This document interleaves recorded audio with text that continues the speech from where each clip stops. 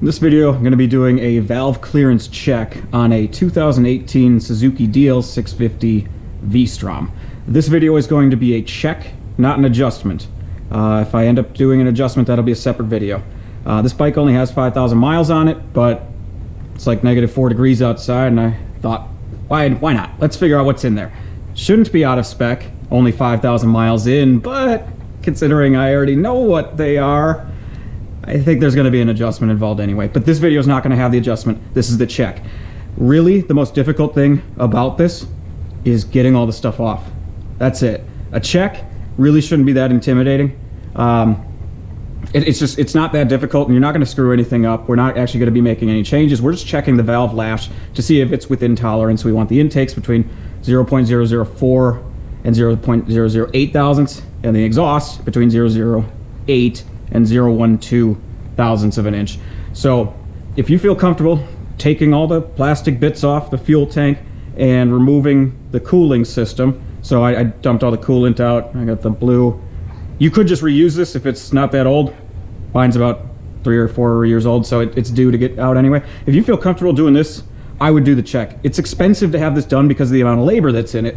It's not because it's a terribly difficult process. The adjustment's going to be a different story, but the check's not that hard. So you the gaskets inside of here, those are reusable. You can reuse those things. Uh, I might need a little bit of Honda Bond. Well, hopefully it doesn't have an allergic reaction being a Suzuki, but everybody bottles the same stuff inside of this. We're going to be removing the spark plugs, so I like this little $5 Harbor Freight guy to get the spark plugs out. You need a feeler gauge for this because it's not a rocker lock nut setup. I don't believe, no, I don't need two of them, but um, I have two for other bikes. Um, to get some of this stuff off, I find this thing, I don't know, it's like three bucks at Harbor Freight. This hose puller to get all these things off makes things much easier. A torque wrench, technically you don't need it, but uh, these bolts on top of here, the factory people just go nuts and over tighten those things. It's only supposed to be 126 inch pounds. I think it's like 10 and a half foot pounds on the things. And it shouldn't be a fight, but it is. If it's leaking, there's other issues that you've got, and you can end up replacing these gaskets under here. It's usually not even that one that you have to replace. Um, and then we're going to need an 8, a 10, and a 6. And the 6 is going to go into here to pull those off. The 10 is to pull this off so that we can put a 17 millimeter on the crank. And then this viewport here is an 8. Technically, don't even have to pull the viewport off to do the check because there's multiple different places you can uh, actually check the clearances because the cam is an eccentric lobe. And so long as the lobe isn't pressing, you can check. But uh, we'll, we'll try, we'll do it on the actual marks for this video. So I'm going to work the valve cover, get the valve covers off, both the front and the back. Actually, I gotta get the spark plugs out of them. Now this one is a dual spark plug. You only need to get one of the spark plugs out.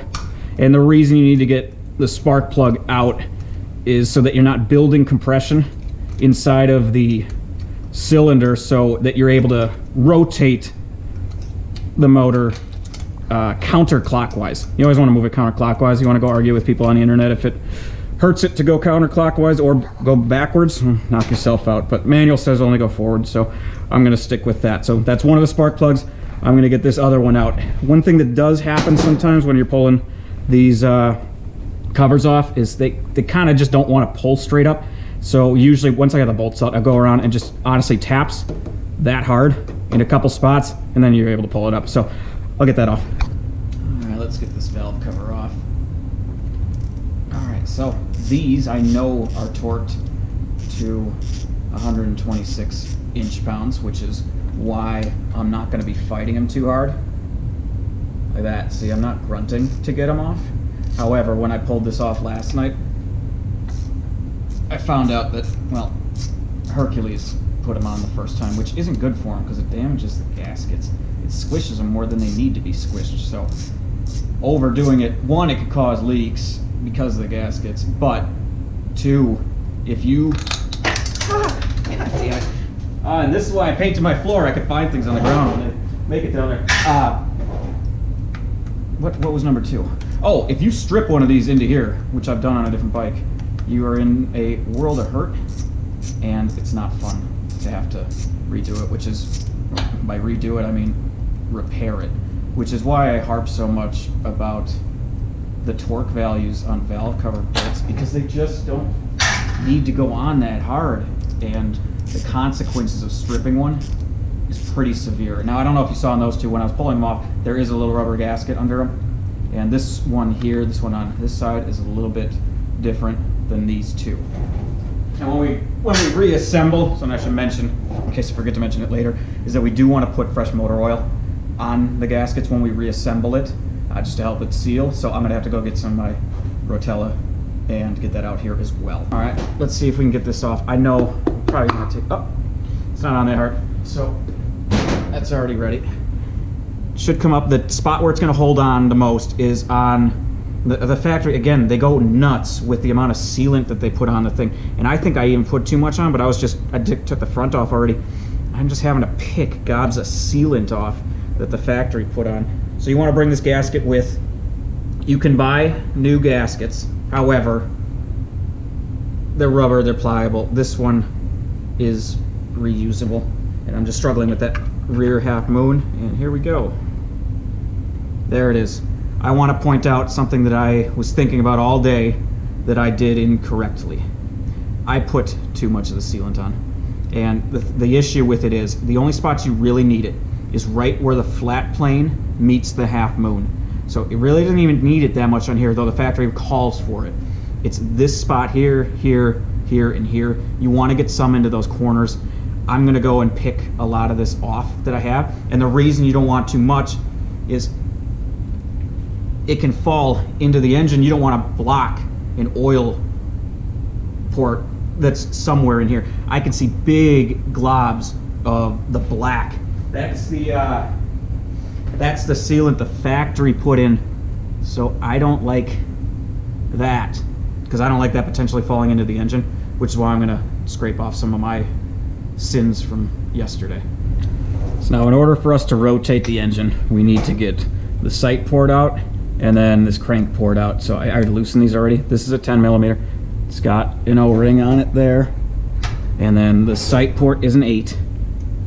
And it's right there. And again, you can get around having to do this. The SV or uh, DL is so easy that it makes sense to just pull this off. Some bikes, you have to pull the whole side cover off, in which case you can do it without that. Just put it in gear with spark plugs out, and you can rotate the wheel to spin the motor. But way easier on this bike because of the access. So we can get a 17 millimeter on here. And I want to make sure that I'm, okay, so that's counterclockwise. I can get a 17 millimeter on there. And what's going to happen, hopefully you can see this, but we're going to want, because I'm going to be looking at this rear one first, there's going to be some marks on here. There's going to be an F and an R. Whoa. Uh, there's an R right now. I went a little bit past it, but that's okay, and I'm going to show you why it's okay. This is what we're, I think it's actually going to be, I think it's going to be this one here, which is the same one that I saw before. Um, that eccentric lobe on there, that's all going to be the exact same uh, radius, or well, length from the center of the cam. So it's not going to be pushing at all. We can't have the cams pushing on the bucket, which pushes the valve. And what they want is for us to have this in exact top dead center on the compression stroke. And like, maybe I don't know, even by looking at them, I'm like, I still can't tell if the lobes are up or not.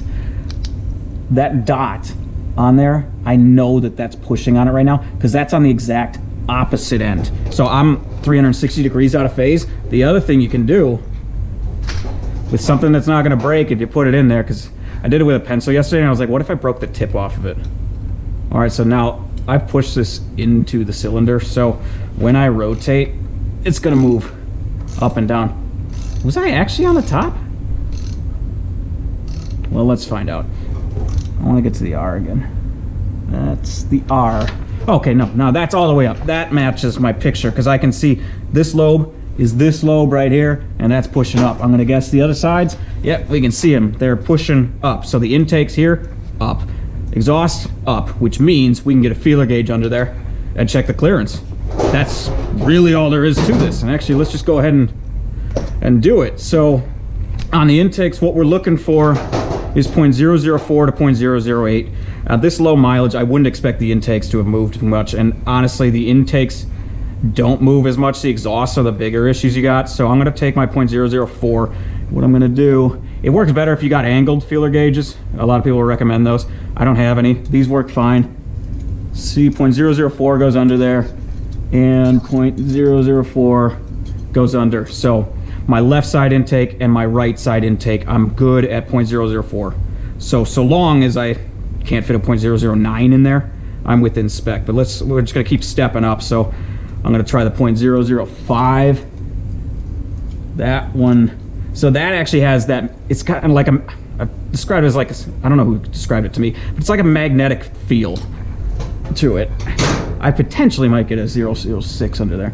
And then that one fits under there as well. So let's try the 0.006 on the intakes. If you want to be anything, you want to be on the looser end of tolerance when it comes to valves. They say tappy valves or happy valves.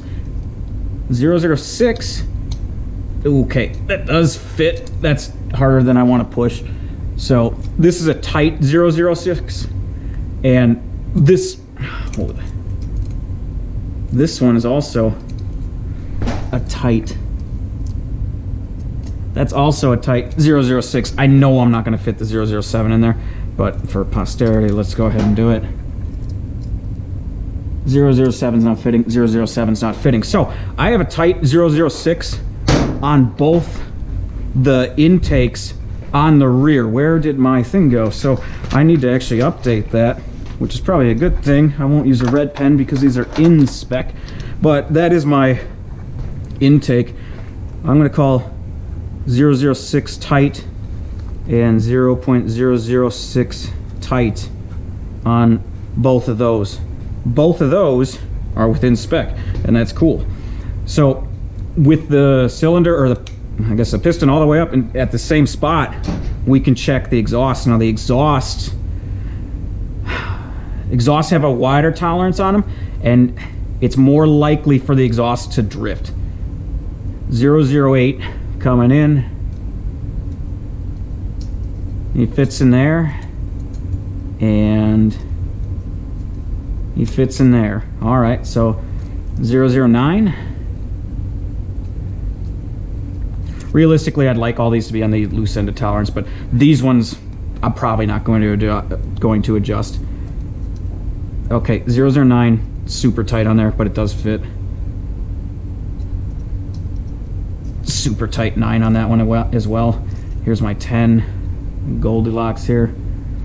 Goldilocks isn't to fit. Goldilocks isn't to fit. So I've got 9 tight, truthfully on both of those. So neither of those actually need any adjusting. In fact, button it up. You're good. You're done. I'm a little bit nuts about this in that I don't want to do this again because I still expect, if anything, it's going to drift within the first 10,000 miles. And what happens is valves, in 99.8% of cases, tighten up over time.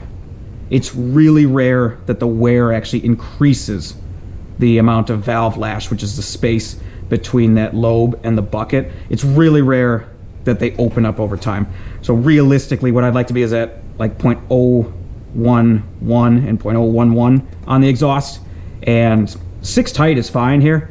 I'd probably rather be seven tight on the intakes, but this isn't enough for any amount of concern. These intakes are great. They're probably set there exactly from factory. So all we got to do now is get to top dead center for the front cylinder on the compression stroke, which will be an F mark, and we'll want, instead of this configuration, we will have this configuration where our little eggs are pointing outwards like that.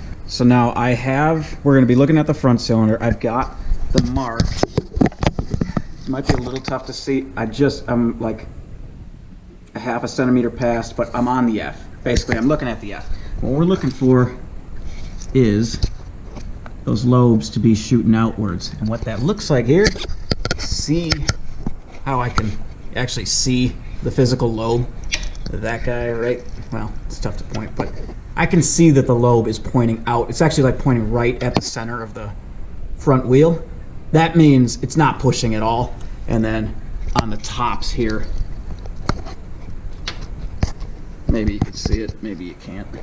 Well, I can see that the lobes are pushing straight up, which means we're going to be able to get our feeler gauge in underneath right there. So now we can take the readings on the front cylinder. I do apologize. I'm on the struggle bus a bit on how to actually film this correctly.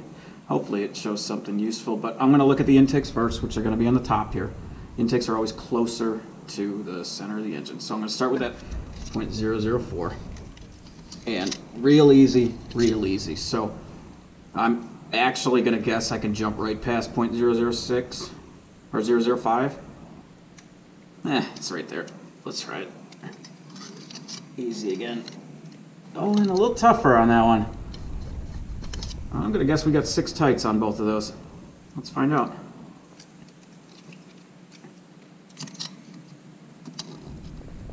Whew, that one might not need adjusting. And, okay, I can't. Okay, that is a, that is a tight six on the right. I think we can go, I think we got more clearance on the left though.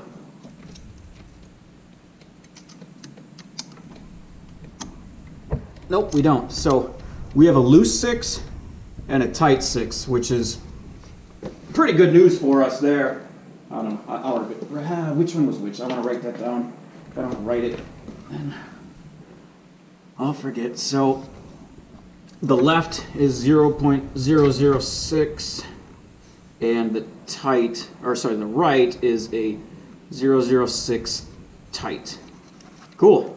Let's check the exhaust. I am going to start with a 008. These are usually the hardest to get to, but you can still get to them. So, okay, 008's in fine. 008 is in fine. It had some resistance though, so I don't think we're going to see a 010.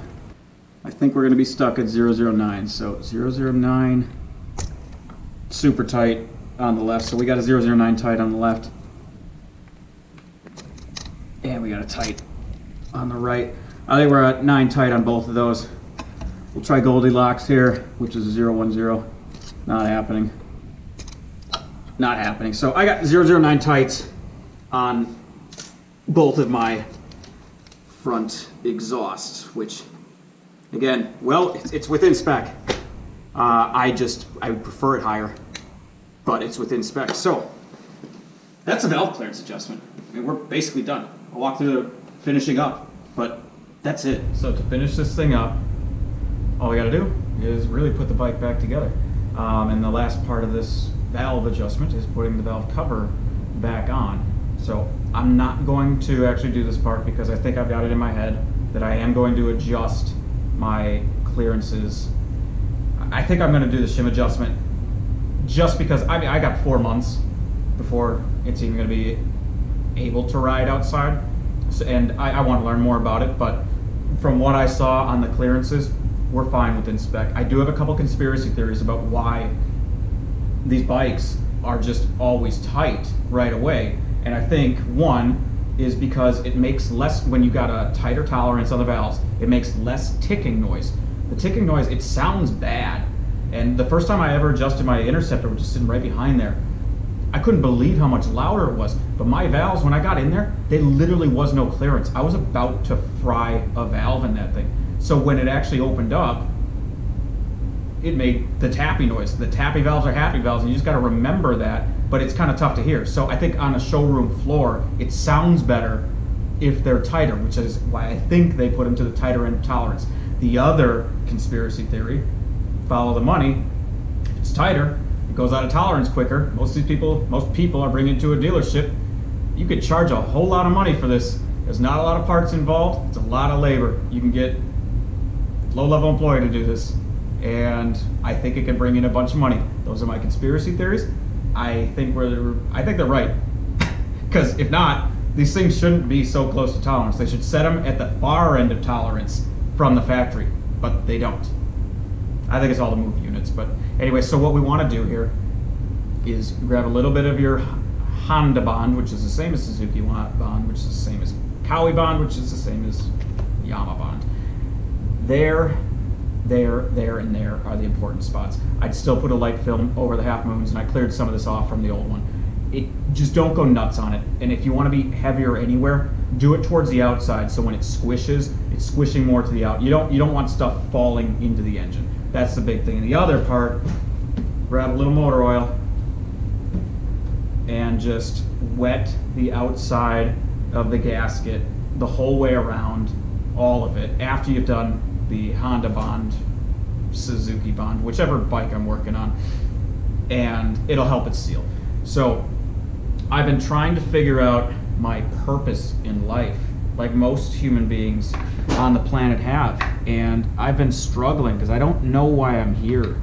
And it's, I mean, it's an existential question. Nobody really knows why we're here, but some people do seem to find purpose. And I think my purpose on this planet is to get people to not over torque fucking bolts on valve covers. So these three, one, this is the gasket I was talking about here. I want to get that little bit off. This is the gasket. You can replace these. If you're leaking from here, replace the big gasket and replace these.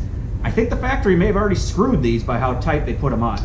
But if my purpose in life is anything, it is to get people to stop over torquing these. So, from Harbor Freight, you are able to buy a torque wrench. It's not the best torque wrench in the world, but it is a torque wrench.